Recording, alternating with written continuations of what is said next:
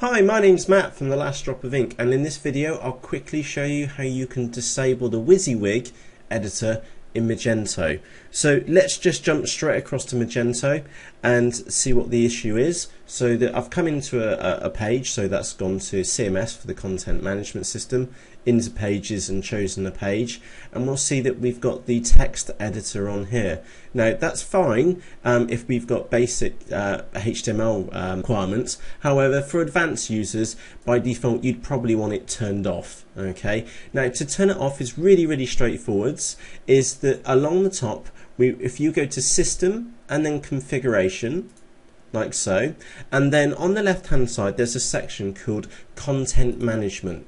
If we click on there, and we can see that we've got, we've got the WYSIWYG options and we'll click on the title bar and then you'll see by default Magento turns on by default and in for, for advanced users I'm guessing you want to turn it off and that's why you're watching this video so if you choose disabled by default and then click save config okay if we now go back and I'm just waiting for that to save a moment if we now go back to pages and then I'll go into the home page and then on the left hand side I'll choose on content and we'll see that the WYSIWYG editor, editor has now been disabled. So thank you ever so much for watching this video. Um, who am I? My name is Matt Ogborne and you can find more about me at lastdropofink.co.uk. Thank you ever so much for watching. Cheerio!